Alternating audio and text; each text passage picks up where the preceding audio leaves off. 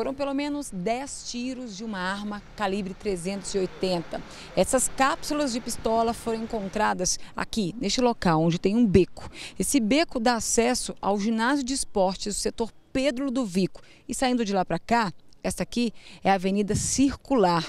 Bem, a polícia está fazendo uma varredura, recolhendo informações, mas mesmo depois de tantos disparos de arma de fogo, o que impera aqui é o medo e o silêncio, como sempre nesses locais de homicídio. Segundo a Polícia Civil, nenhum dos dois tem documentação, né? E possivelmente, sim, podem ser usuários de drogas. São conhecidos dos moradores aqui da região. Eles sempre ficavam aqui por esta parte onde tem o acesso a esse ginásio. Olhando bem esta imagem, a gente pode ver perfeitamente que à noite esse local é completamente escuro. Só tem iluminação agora do carro da polícia que está lá dentro fazendo a perícia e recolhendo qualquer vestígio do que aconteceu, porque tudo começou lá dentro. Esses homens é, foram atingidos, um morreu lá mesmo, caiu por lá, e o outro ainda conseguiu correr e caiu às margens da Avenida Circular, ainda na calçada.